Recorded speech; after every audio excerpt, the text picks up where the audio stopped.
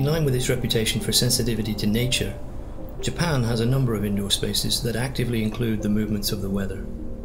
Designers such as Kengo Kuma and Toshihito Yokoichi, for example, have produced stunning indoor environments animated by the natural movements of the sun, wind, and rain. Here we see indoor sunlight passing through a wind disturbed roof pond. Here, the indoor experience of rain on the same glass roof pond. In this example, wind animated foliage silhouettes are being cast on a translucent screen. Designing all buildings this way would clearly not only take a great deal of money, but also a long time. There are, however, simple ways to create this kind of natural indoor animation in your own home right now and at minimal cost. All of the following examples were created in my own house for less than $50.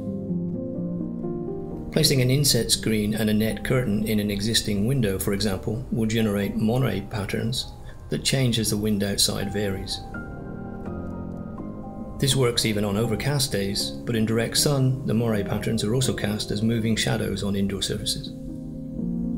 If you have a deck or balcony that receives direct sun, the wind generated movements of foliage can either be back projected onto shades or directly projected onto interior surfaces. If sunlight passes through small enough openings, between leaves for example, wind animated indoor images of the sun can also be generated indoors.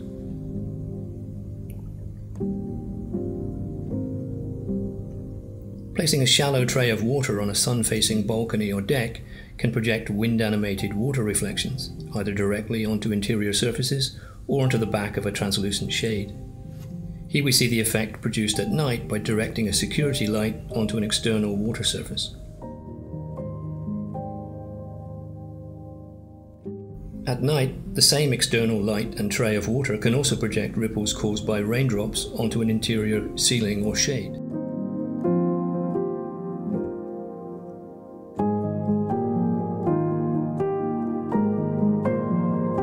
Because they are so familiar, these natural movements can keep us alert without being distracting. Best of all, however, like an old friend, they help to calm us.